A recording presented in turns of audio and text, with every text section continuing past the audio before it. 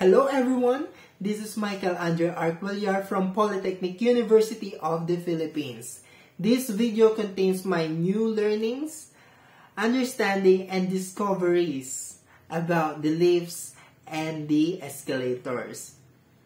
So my key takeaway from the topic lifts was why lifts exist.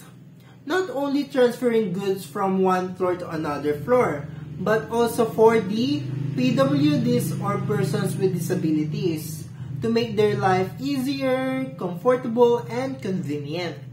Discovering that elevator glass doors are better than the elevator stainless steel doors because of the visibility. You can see what's happening inside the elevator such as the bad incidents like harassment attacks to the PWDs who are very, very vulnerable.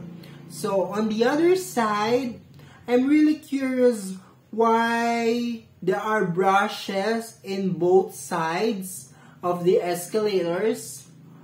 And these sides are the moving parts of the escalators.